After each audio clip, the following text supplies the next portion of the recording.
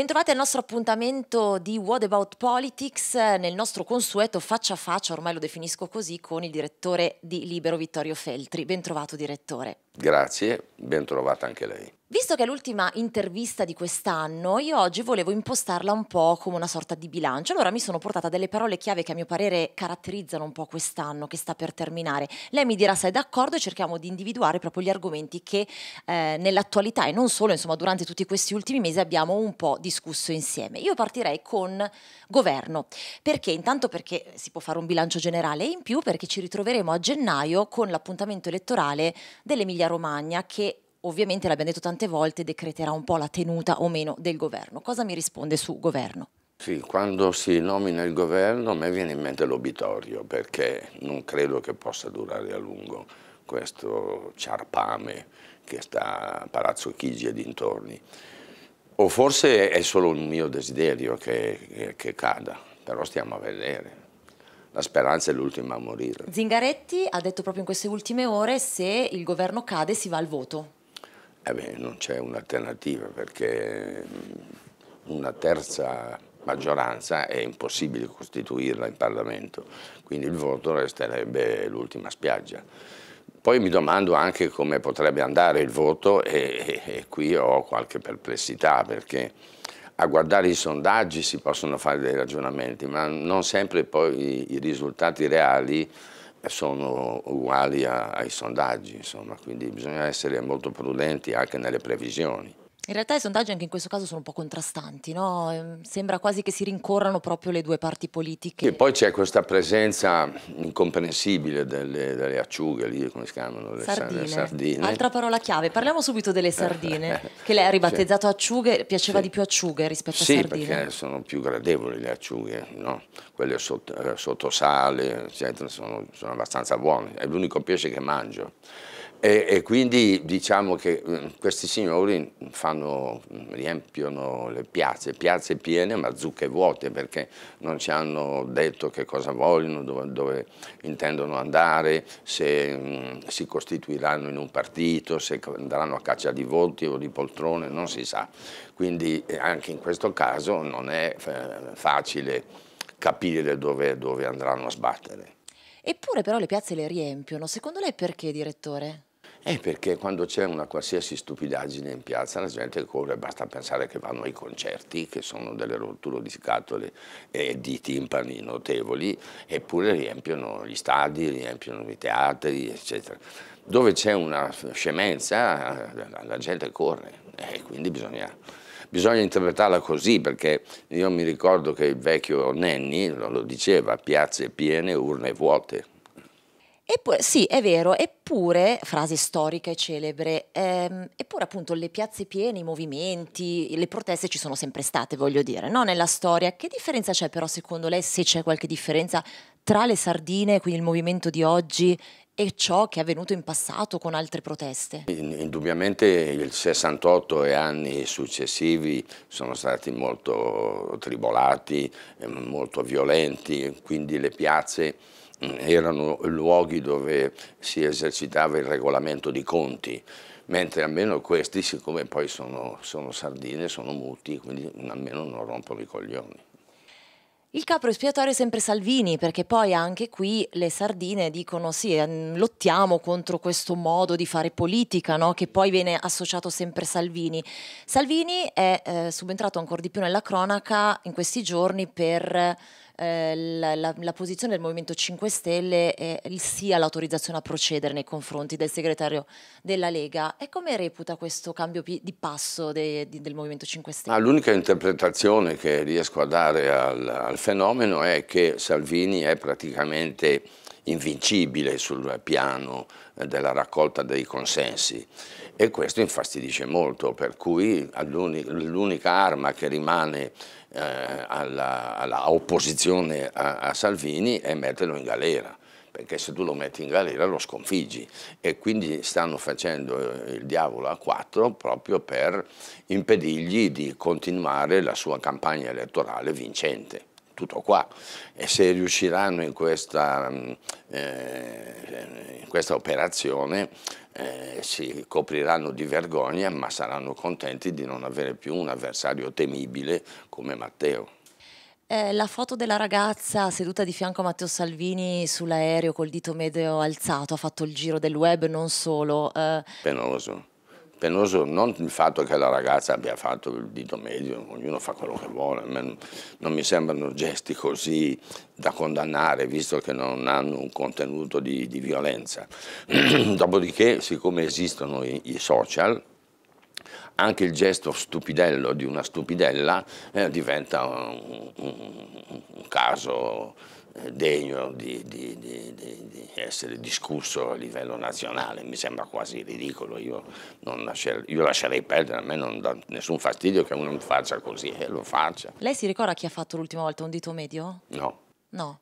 È... No, io non, non, è un gesto che rientra nella mia, diciamo, non vorrei dire cultura, nelle mie abitudini, perché quando io ero un ragazzo non esisteva questo gesto, no? esisteva il gesto dell'ombrello, che quello è sempre di moda, lo sa com'è, è così. Ok, eh, perfetto. Tutto tutto Quello qua. esiste sempre, sempre è verde. volgarissimo, per l'amor di Dio, eh, non, anche il dito non è elegante, però non mi sembra il caso di, di, di, di discutere. Di farne un caso. Far... Non mi sembra il caso di farne un caso. Altra parola che mi sono segnata, Rousseau, piattaforma Rousseau. Mm. Uh, come valuta questo modo democratico del Movimento 5 Stelle di votare? Anche perché poi l'ultima volta che si è votato eh, Di Maio, il leader politico, è stato un po' sconfessato, diciamocelo, sì. no? dagli stessi attivisti. Sì, però i numeri non costituiscono una prova vera, perché quelli che votano sono pochi quindi la cosiddetta democrazia diretta è zoppa. Eh, non, non, è significativa, dopodiché la vogliono utilizzare, la piattaforma la utilizzino, però io non darei molta importanza e non darei retta a questi risultati che, come ripeto, sono zoppi. Adesso direttore, attenzione perché devo eh, chiamare in causa la nostra categoria. Giornalisti è l'altra parola, che cosa è successo con Scanzi? sono sassate, beh, basta, cioè la risa più squallida che, che, possa esistere. Diciamo che io eh, qualche anno fa fui invitato a un programma televisivo diciamo, con, condotto eh, da Scanzi, il quale si comportò con me da, da, da gentiluomo. Dopodiché io, pur non avendogli fatto niente, ha cominciato a denigrarmi in modo, in modo volgare, nel senso che quando una persona è anziana, come sono anziano io, gli dai del rincoglionito e anche dell'ubriacone, quando mai nessuno mi ha visto sbronzo. Poi mi, mi attribuisce di essere un bevitore di gin, io il gin non l'ho mai neanche provato, perché non è un, un liquore che mi, mi attiri, cioè, quindi non so perché si sia messo a fare questo. Lei gliel'ha chiesto? No, non vi siete... No, non no, no anche, anche, perché se, se eh, queste critiche me le facesse Alessandro Manzoni, allora naturalmente eh, starei lì a bocca aperta, ma Scanzi cioè, scanzi, uno lo scansa, scanzi. I giornalisti esistono ancora nell'accezione, insomma, che, che, era di una volta, no? No, no, hanno cambiato mestiere in pratica, perché stanno tutto il giorno davanti al computer, non vanno più in giro, non vedono la realtà e quindi non sono in grado di raccontarla. E non esiste più la figura dell'inviato come era una volta, so, io quando facevo inviato al Corriere, mi mandavano in giro per tutto il mondo, dovevo cercare di, di portare a casa notizie, materiale, eccetera. Oggi è tutto di riporto perché i, i, i social e comunque i mezzi tecnologici arrivano sempre prima di noi della carta stampata che usciamo l'indomani, quindi le notizie arrivano molto prima. Quando le pubblichiamo noi sono vecchie, poi non siamo in grado più di fare dei bei racconti, un tempo si puntava molto sulla narrazione eh, de della cronaca che poteva appassionare, poi tutti quanti si occupano della non di politica ma della politichetta, del gossip politico, eh, la chiacchiera, le previsioni, le ipotesi, i sondaggi e quindi lì c'è poco da scrivere. Quindi un tempo il giornalista doveva almeno sapere scrivere, adesso basta che sappia leggere qualcosa sul computer e poi se la può cavare. È un po' mm, legato ah, al sensazionalismo. Sì, chiedo scusa. E di fatti anche gli stipendi sono diventati ridicoli, mentre un tempo i giornalisti guadagnavano bene.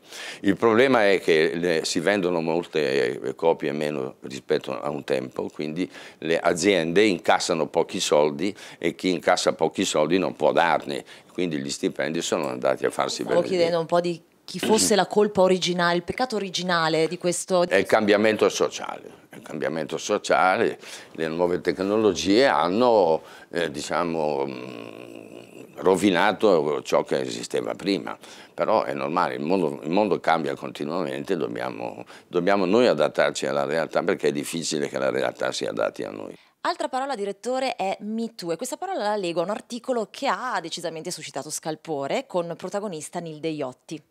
Sì, ma non, non, ho capito in che cosa eh, eh, consistesse la polemica, perché eh, il nostro critico cinematografico e quindi anche televisivo, ha visto la fiction e, e, dalla fiction si evincevano le cose che lui ha scritto e con molto garbo peraltro ma siccome è stato detto, eh, scritto, che la signora Iotti era una brava politica, nel senso efficace, una, anche una donna che riusciva so, a cucinare bene e poi eh, che era anche brava diciamo, in, in, camera da letto, che non mi sembra un'offesa, nel senso che se dicono di me che sono bravo a letto se ne fottono tutti quanti, se lo dici di una donna diventi un, un, uno schifoso eh, come sessista. Cioè, io non, non, capisco queste polemiche, mi sembrano ridicole e anche in questo caso c'è un cambiamento proprio del, del costume.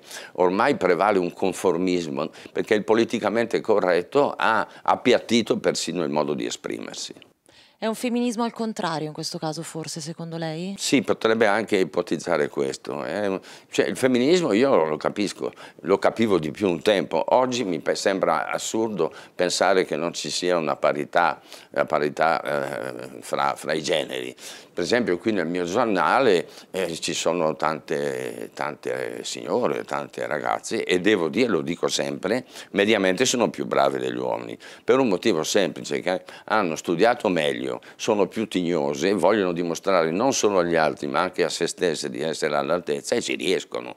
Quindi sono molto brave e io diciamo che almeno su 4 o 5 donne punto moltissimo.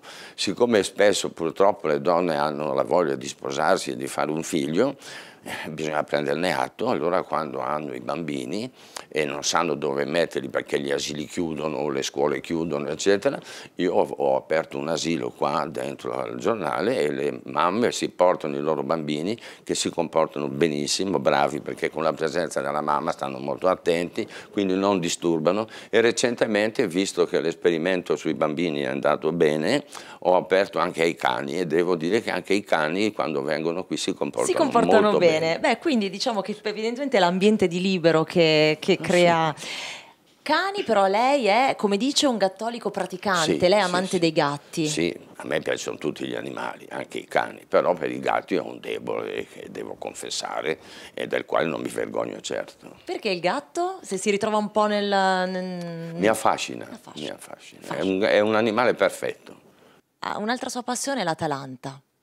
Sì, certo, sono nato a Bergamo, eh, quindi ho... Sì, Beh, c'è stato questo affetto. traguardo storico agli ottavi di Champions League, no? Quindi sì, insomma, sì, sì, eh, ha esultato quando è accaduto? Certamente non ho pianto, ecco, sono stato molto contento e, e, mi sembra che già sia arrivata molto più lontano rispetto alle previsioni, quindi no, non posso che essere soddisfatto. Ma fa i cori da stadio quando guarda le partite lei, ma direttore? No, io no, non, ama cantare? Non mi scaldo molto io, per niente, neanche per il calcio.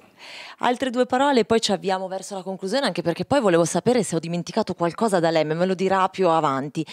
Uh, sulla Brexit e sull'impeachment, anche lì uh, si sta esagerando nel mh, mm, valutare quello che succede al di fuori del nostro paese, a suo parere, anche giornalisticamente parlando, si ricerca anche lì il gossip e Trump sta facendo male, sta facendo bene, uh, la Brexit, il caos che potrebbe causare, insomma sono parole che sono tornate in auge adesso. Per quanto riguarda Trump, da quando è stato sottoposto a impeachment, eh, i, diciamo, i, sondaggi lo hanno portato in, in, cielo, nel senso che ha aumentato i propri consensi, quindi vede che non servono a niente certe operazioni di linciaggio nei confronti di un personaggio politico. Per quanto riguarda Johnson, Boris è sicuramente una persona di altissimo livello, anche culturale, che viene trattato come fosse un imbecille. E invece mh, si dà anche il caso che l'Inghilterra stia andando molto meglio rispetto al resto eh, d'Europa. La disoccupazione è scesa a livelli infimi, non, eh, la, la, Brexit non produrrà nulla di, di grave, ma anzi aiuterà l'Inghilterra che già si era comportata bene quando entrò in vigore l'euro perché si tende la sterlina, già questa è una prova diciamo, di prudenza e di intelligenza, mentre noi che siamo legati all'euro abbiamo subito delle perdite notevoli, da vent'anni noi non cresciamo, noi italiani. Adesso ho scoperto che la Germania ha il record dei poveri, 12 milioni di poveri, stamattina uh, lo pubblica Italia Oggi e faremo anche noi un servizio, quindi significa che eh, questa Europa unita, eh, che non è poi unita perché c'è una diversità di, di, di, lingue, le lingue sono tante, eh, le, le, la legislazione non è uguale per tutti, eh, la, le tradizioni sono diverse eh, paese per paese culture tutte diverse, no? Culture tutte diverse, quindi non si capisce come sia stato possibile creare un'Europa partendo dal tetto, che è la, la, moneta. La moneta è il tetto, è la parte finale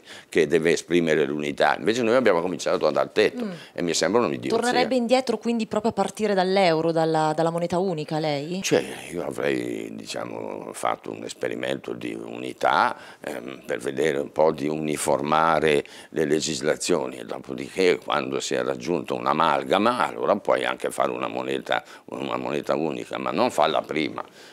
Eh, mi è sembrato velleitario e in effetti i risultati sono negativi. E a proposito di culture, altro argomento che non ha niente a che vedere con temi politici sull'Europa, su cui torneremo sicuramente, perché poi col nuovo anno si dovremo vedere che governo avremo in Italia e poi di conseguenza l'approccio nei confronti dell'Europa. Ehm, andrà a vedere il nuovo film di Checco Zalone?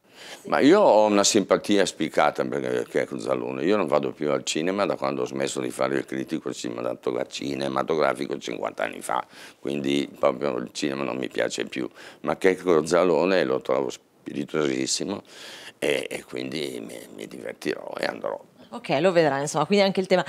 Allora, le chiedo se ho dimenticato qualche parola chiave che ha caratterizzato quest'anno, certo ce ne sarebbero tantissime ovviamente, no? però insomma, governo, diatribe, abbiamo detto, ah, cosa, sì. cosa, ci metterebbe ancora? Ma insomma, sinceramente non mi sembra che spicchi qualcosa di particolare. Okay. Poi c'è la solita vita italiana, c'è eh, la, la, violenza sulle donne, eh, i femminicidi, tutte queste cose, perché poi i femminicidi fanno, fanno clamore, so, invece si ammazza un bambino non succede niente, e quanti ne, ne, trovano, ne trovano sì. uno al giorno nei, nei cassonetti. Ah, sì, ma c'è insicurezza ma, totale secondo lei, quindi a questo punto no, no, adesso no. ci arrivo. Eh, eh, per quanto riguarda gli anziani sono oggetto di truffe in continuazione, vengono eh, picchiati, ammazzati e nessuno si scandalizza, nessuno si straccia le vesti per questo. Allora trovo che sia sbagliato perché sono le persone deboli che subiscono le violenze. Naturalmente le donne di norma sono un po' più deboli fisicamente degli uomini, quindi sono soggetti a prevaricazioni. Questo è un po' e i bambini pure, tant'è che non c'è asilo dove non scovino una maestra che li mena e non mi sembra un atto elegante neanche questo, ma nessuno ne parla. Volevano mettere le telecamere e non le hanno ancora messe per dire come la violenza interessa solo se si tratta di femminicidio, allora sì, poi per gli altri li possono picchiare, prendere a calci nel culo, questo va bene. Eh, io lo trovo sbagliato. E, quindi... e poi però, scusi, detto, detto questo, l'Italia rimane il paese europeo che ha il minor numero di reati, quindi noi abbiamo non tanto bisogno di sicurezza, ma abbiamo bisogno di educazione e quindi di, di metterci un po' in riga noi sul piano personale, ma come collettività non siamo un disastro nonostante le mafie noi abbiamo il, il minor numero di, di, di, omicidi, di rapine, quindi il nostro è un paese sicuro. Dobbiamo insomma, diciamo, autoregolarci da soli, sì. darci una, una, una sistematina e eh. una mossa. L'ultima parola, direttore, è fidanzamento. Le ricorda qualcosa? Ah, quella sì. Eh, perché insomma, no, noi ci io siamo... ho fatto una proposta non neanche indecente, al fidanzamento. Il fidanzamento è una cosa elegante. E io si ricorda il mese scorso le avevo detto, sì. posso dare la risposta. Eh, se me la dà, adesso mi mette anche in agitazione perché... Però io le posso fare un sì. po' un, una piccola pulce su questa ma cosa. Certamente. Io ho bisogno di pensarci ancora sì. un attimo, ma fondamentalmente perché quando si fa una proposta di fidanzamento... Eh, bisogna tirare fuori qualcosa. Lei cosa è disposto a tirare fuori, direttore? Non, non usi questo termine, tirar fuori, perché ti batti. Cioè, e cosa va? L'anello, direttore. Ah, certo, sì. E beh, ma questo però lo fai dopo che hai, hai ottenuto, eh, diciamo, una risposta positiva, non prima. Ah, fa, funziona così adesso? Sì, perché se no ci smegli l'anello. ma tanto se si rifiuta la proposta si ridà l'anello. Ah sì, ah, non sono pratico, allora, perché facciamo... io non mi sono fidanzato molte volte. Allora, facciamo così, non ci siamo capiti su questo punto, sì. è quello Rimandiamo. il problema. Rimandiamo la prossima sì. volta, va bene? Posso... Così io mi comporterò meglio. Ok, così... Ah, mi aspetta però, non è Sempre. che poi... Io l'aspetterò per tutta la vita. Grazie, direttore Vittorio Feltri, eh, per questa chiacchierata e alla prossima grazie, nostra grazie, intervista. grazie. grazie.